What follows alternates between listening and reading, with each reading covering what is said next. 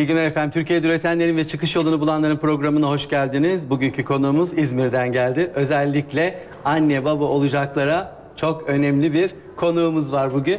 Genç ve bebek mobilyalarından bahsedeceğiz. Ve Meltem Bebek Genç Mobilya sahibi Ali Fuat Gür'le canlı yayında konuğumuz. Ali Bey hoş geldiniz. Hoş bulduk Sami Bey. Ve her zaman olduğu gibi Adnan Şansu var. Girişim Eğitim ve Danışmanlık Hizmetleri Direktörü. Siz de hoş geldiniz. Hoş bulduk. Bakalım bu, özellikle bu sektörde büyüme nasıl gerçekleşiyor?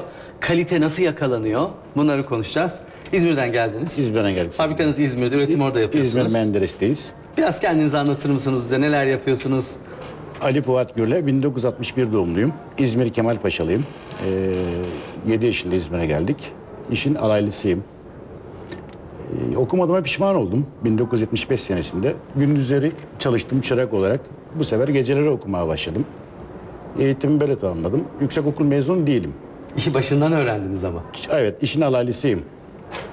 Ee, Daha sonra tabii askerlik. Askerden sonra iki yıl yine çalışma. 1985 yılında kendi iş yerimi açtım. Hep mobilya sektörünün içindeydiniz değil Hep mi? mobilya sektörü ama asıl branşım koltuktu o zamanlar. Ee, 85-88 şahıs firması, 88'den sonra şirketleşme, günümüze kadar aynı ortaklık yapısıyla devam eden Galeri Meltem Fatih. markasıyla ne zamandan beri üretim yapıyorsunuz? Meltem markasıyla 2001'in sonları 2002 başları gibi başladık bebek mobilyasına. Ee, ilk önce yani sektörün suntalam dediği tarzda e, malzemelerle ürettik. Daha sonra boyalı mobilyaya girdik. 2009 yılında İzmir Kalkınma Ajansı'ndan aldığımız hibeyle birlikte e, İtalya'dan boya hattı ithalatını gerçekleştirdik Kendi hattınızı kurdunuz. kendi boya hattımızı kurduk ve bu boya hattı e, bebek mobilyasında, çocuk mobilyasında Türkiye'de tek bizde var, bizim işletmemizde var. Sağlıklı mobilyalar üretiyoruz. Özellikle bebek mobilyaları üretiyoruz. Özellikle anneler çok dikkat ediyor Ali Bey. Anneler günümüzde hikayesi. günümüzde çok dikkat ediyor. Bizim mobilyalarımızda koku olayı yoktur. Boyalarımız kurşunsuzdur. Yani çocuklar genelde ısırır ya böyle Hiçbir mobilyanın şey olmaz. kenarlarını. Bir şey olmuyor mu? Hiçbir şey olmaz.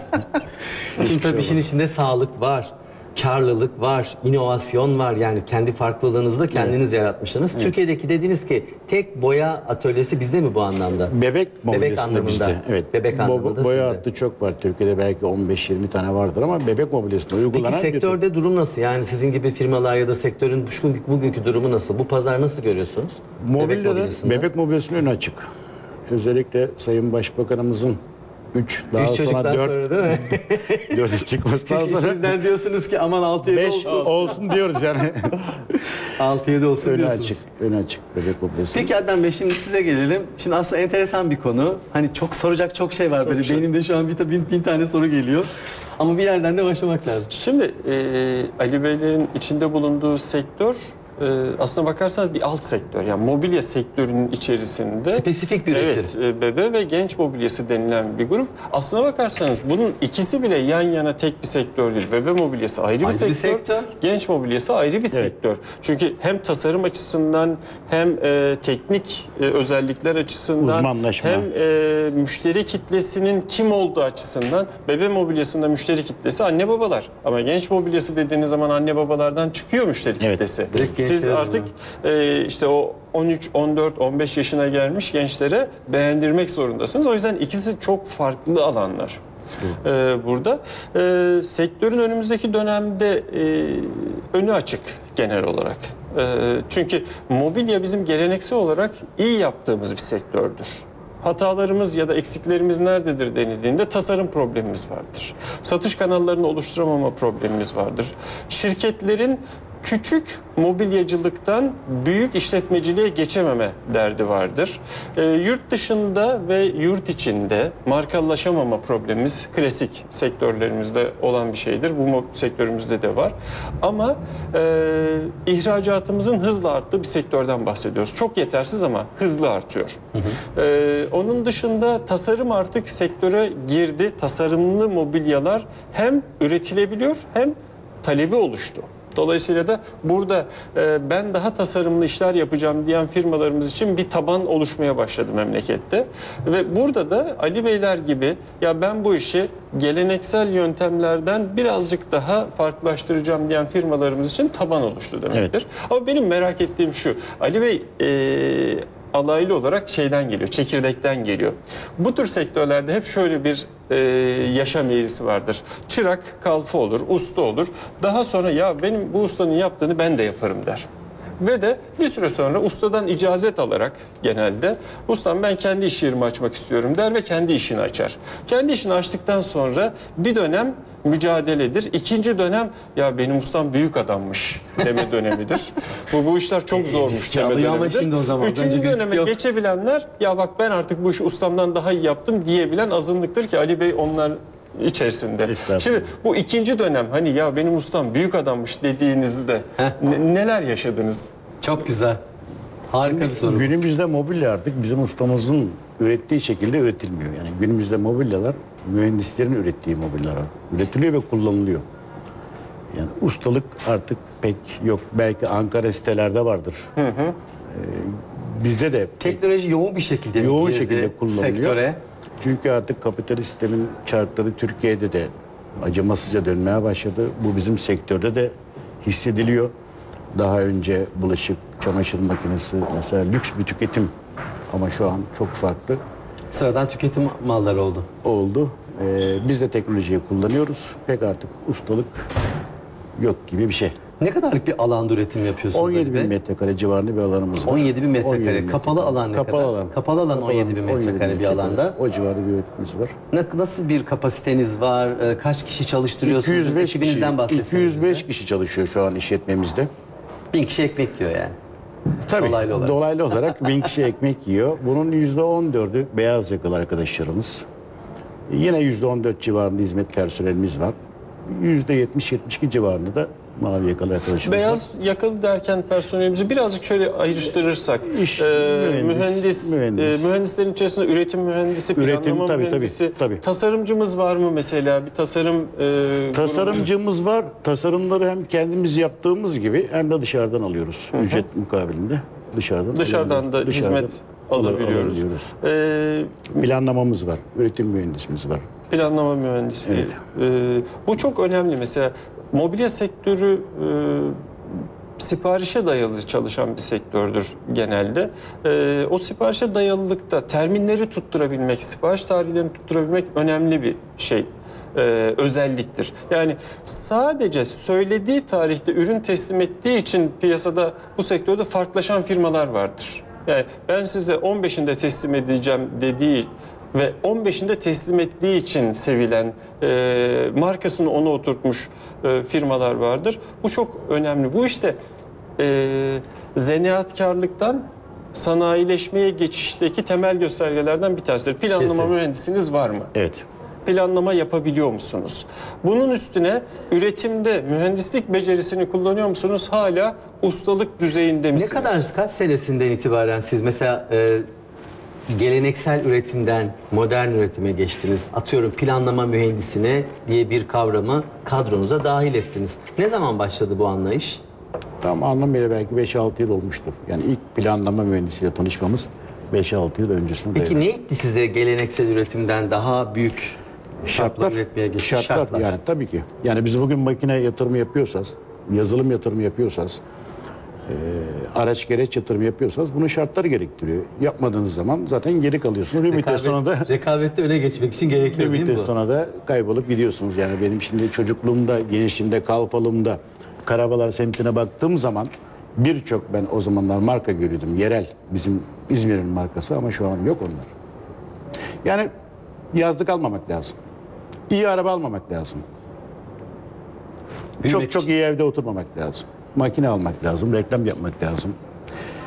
Bu tabii bankacılık sektörü de buna doğru itti iş adamlarını. Mesela Bazel 2 ile birlikte eskiden biliyorsunuz patronlar zengin, işletme fakir. Ama şu an patron fakir, işletme, İşletme zengin. zengin. olmak durumunda. Zaten doğrusu da bu. bu. Peki e, bu anlamda danışmanlık hizmeti alındı. E, KOBİ Akademi'ye katıldınız yanlış Katıldım. hatırlamıyorsam. Türkiye Katıldım Ekonomi ve Bankası'na. devam edeceğiz. Peki ne fayda gördünüz burada? Çeki düzen veriyor. Biz birçok şeyleri bilmiyoruz. Ya da aslında görmüyorsunuz. Şirket içinde hani o kadar İşletme burnunuzun körlüğü, dibinde evet. olan işletme körlüğü dediğimiz evet, şey. evet. Ne değişti peki veriyor. hayatınızda? Valla çok şey değişmedi aslına bakarsanız. Ama Adnan Bey'den çok şeyler öğreniyoruz. Öğreneceğiz de. Kobe Akademi'ye biz bir kez katıldık. Daha sonra pazarlama stratejileri e, İzmir'den Türk Ekonomi Bankası Karabalan Şubesi'nden Haluk arkadaşımızla birlikte hazırladık. Onu mesela okuduktan sonra çok şeyler öğrendim. Yani karşıdan göründüğü gibi değilmiş. İşte işletme körlüğü orada çıkıyor. Yani okuduktan sonra raporu işletmemizle alakalı çok şey öğrendim. Demek ki sizde bir büyüme potansiyeli görmüşler ki demişler ki ya bu şirket büyür, gelişir. Ee, Türkiye'nin on- önümüzdeki 10 yılına da bu sektörde bebek ve genç odasında da damgasını vurur demişler ki ışık görmeseler bunu yapmazlardı bence. Ee, Haluk Ersoy en sağlam danışmanlarımızdan bir tanesidir. Yani bankacılığı kadar artık KOBİ danışmanlığını da e, yanına e, titir olarak koyabilmiş arkadaşlarımızdan birisidir. Haluk'un yaptığı çalışmadan ben hatırladığım kadarıyla e, iç pazarda e, daha e, kurumsal büyüme, bayiliğe, e, bayilik sistemine göre büyüme ve e, satış noktası sayısını artırma diye bir şey çıkartmışlardı. Evet, evet. E, Ali Beylerle birlikte ve bildiğim kadarıyla o çalışmadan bu yana e, bayileşme yolunda epeyce Evet. adımlar atıldı. E, büyüme tabii ki yani e, bizim de mesela şirket olarak danışmanlık verdiğimiz firmalarda e, kasabın sevdiği eti yere vurması gibi biz de büyüme potansiyelini şirket olarak ve patron olarak gösterebilen firma yakaladığımız zaman e, biz de çok şey yaparız, rahatsız ederiz. Çok ittiririz arkadan, önden çok çekeriz. Çünkü e, bu niyet desteklenmesi gereken bir niyet. E, abicim sen çok güzel yapıyormuşsun, eline sağlık deyip gittiğiniz zaman çok iyi yapmıyorsunuz. Tabii. Onu birazcık daha cesaretlendirmek, hatta birazcık daha rahatsız etmek lazım. Ee, Haluk da bildiğim kadarıyla bu işi yapabildi. Ve de e, Ali Bey'in de ifade ettiği gibi firmanın bugün attığı adımların içerisinde bizim KOBİ danışmanımızın da ufak tefek katkıları oldu. Şimdi marka olmak bu konuda çok önemli. Marka olma yönünde bir ciddi bir çaba içerisindesiniz. Bunu neden önemsiyorsunuz? Şimdi markanın tanımı bana göre pazardan pay almaktır. Yani yanlışım varsa söyleyin. Bir küçük ekleme yapayım. Sizi isminizle istetebilmektir bunun da. Evet. Tabii. Yani pazardan pay alırken isminizle talep edilerek pazardan pay aldığınız zaman işte o zaman tam markasınız demektir. Markalaşma yönüne gidiyoruz biz. Yani tam marka olduk diyemem Türkiye genelinde ama Türkiye'nin birçok vilayetinde varız. Kendimize ait 6 tane bayi olarak da 26 tane showroom'umuz var. Bu showroom'ların büyükleri 450 ile 1000 metrekare civarında. Yani ürünlerimizi 150 metrekarelik 70 metrekarelik yerlerde sattırmıyoruz. Sattırırken de kriterlerimiz var. Yani oda Nedir oda, onlar? oda oda olacak. Yerden yükselti olacak. Kendimize ait koku var ve koku makinesi var. Koku makinesi mutlaka olacak. Bu 32 tane showroom'da nereye giderseniz gidin, Diyarbakır'a gidin, Mersin'e gidin veya İstanbul'da aynı kokuyu hissedersiniz. Aynı kokuyu çekersiniz ciğerlerinize. Bu da çok önemli. Takımların konseptleri aynı. Genç Odası Diyarbakır'da ne şekilde sergileniyorsa Diyarbakır bayimizde Ankara bayimizde de aynısı, aynı şekilde sergileniyor. Bunlara dikkat ediyoruz. Biz çok para kazanalım demiyoruz. Yaptığımız işin bilincindeyiz. Netice itibariyle bebek mobilyası yapıyoruz. Sağlıklı yapmak zorundayız. Çok para kazanalım. Çok güzel arabalara binelim. Yatlarımız olsun. Yok bizde böyle bir şey. Biz yaptığımız işten zevk alıyoruz.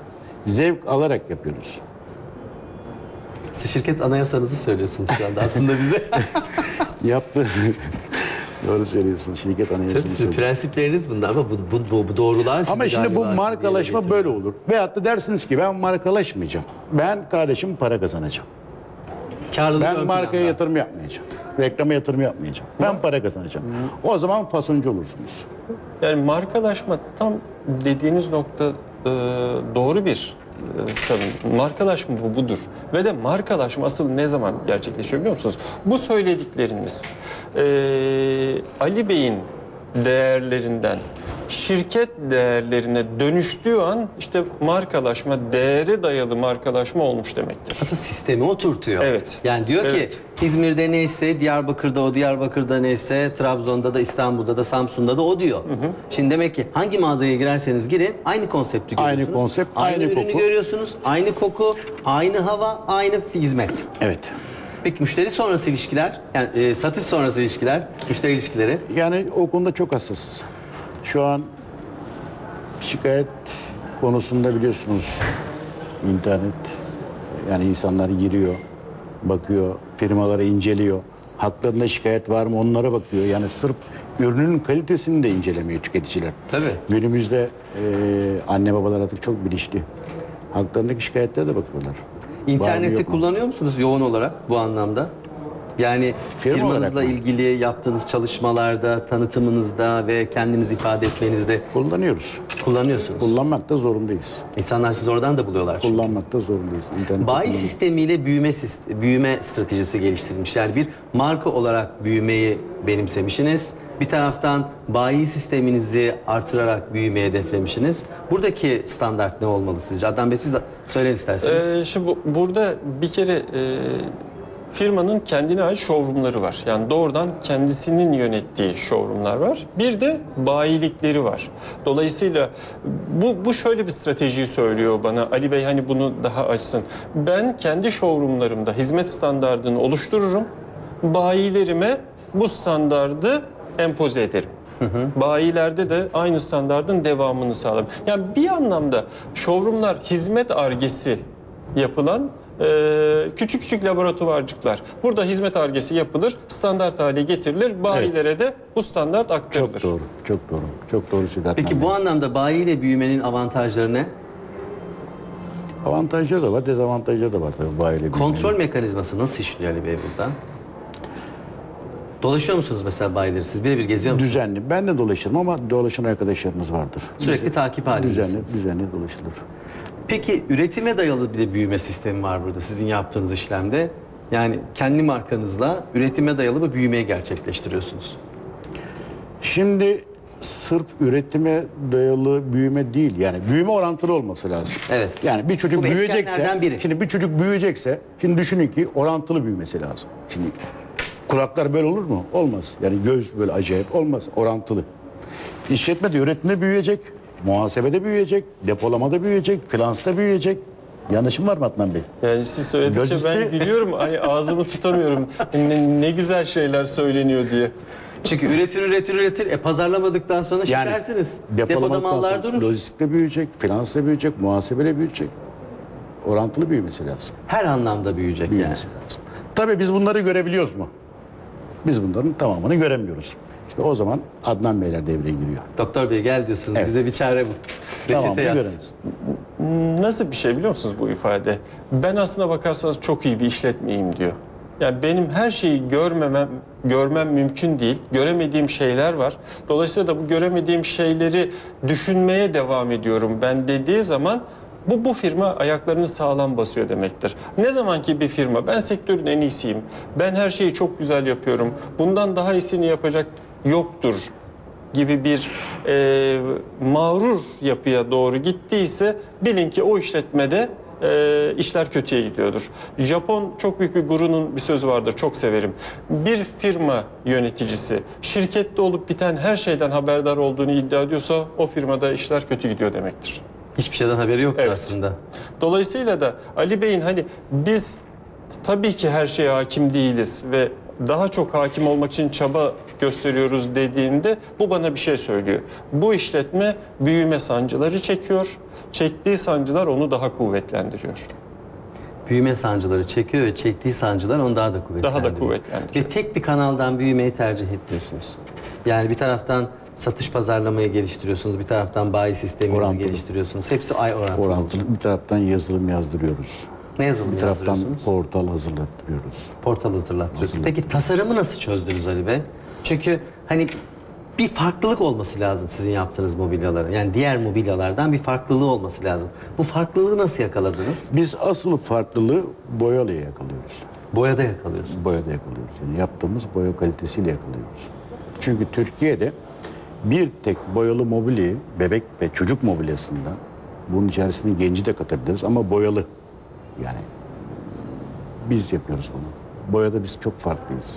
Çünkü insanlar ilk başta onu soruyor artık. Fiyatından ziyade Çok farklıyız. sağlıklı Sağlık- mı? Tabii. Melamin üreten geldi. çok piyasada oyuncu var. Ama biz e, boya hattından önce yani 2010 yılından önce üretimimizin %90'ı melamindi. Geri kalan boyalıdı. Ama şu an 80-85'lerde boyalı. Boya hattının sayesinde yaptığımız yatırımın sayesinde kalan melamin. Sektör- Ama demek değildir pardon. Estağfurullah.